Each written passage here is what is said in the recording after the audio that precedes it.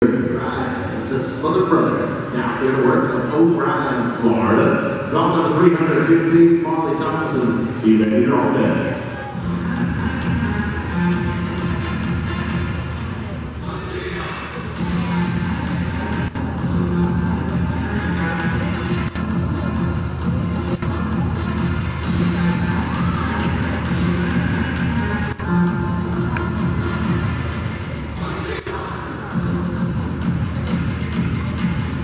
With the medal down, unfortunately, this will be a no time. Nice runs going, and a 15.807 is what would have been. A 1.5807.